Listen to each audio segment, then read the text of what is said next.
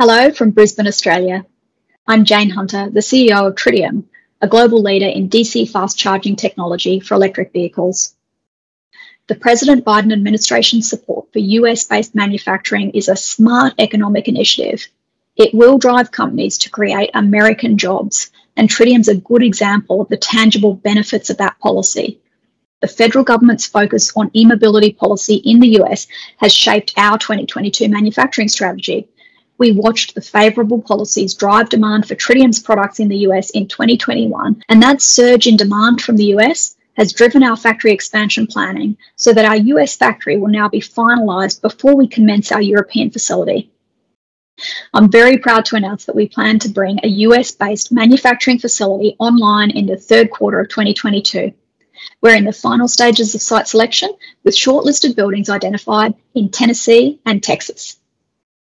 This factory will have an initial capacity to produce 5,000 DC fast chargers per year with expansion capability for up to 10,000 fast chargers per year. At full capacity, this facility will double the production capability of our current Brisbane based factory, allowing Tritium to increase our speed to the critical US market with local production, reduced supply chain and freight costs, and of course, it's going to create both skilled and unskilled American jobs. We very much look forward to announcing the location of our US factory in the coming weeks. This new facility will complement our existing operations in Torrance, Los Angeles, where we have an innovation centre with chargers for interoperability testing with EVs and for customer trials. We have an office with sales and customer support staff and a logistics facility for warehousing and repairs and maintenance. And most importantly, we've recently deepened our Tritium US links with the list on the NASDAQ, and we can't wait to ring the bell.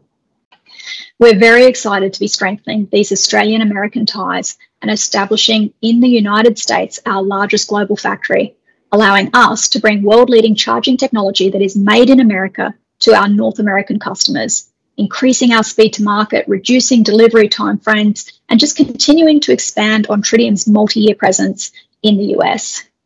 We now have chargers in the States that have been installed there for seven to eight years, and they're still going strong backed by our local support team and logistics repairs and maintenance facility in LA. Thank you to the National EV Charging Initiative for hosting Tritium today.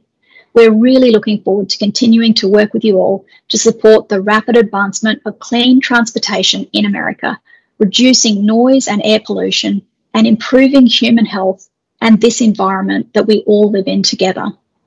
Thank you.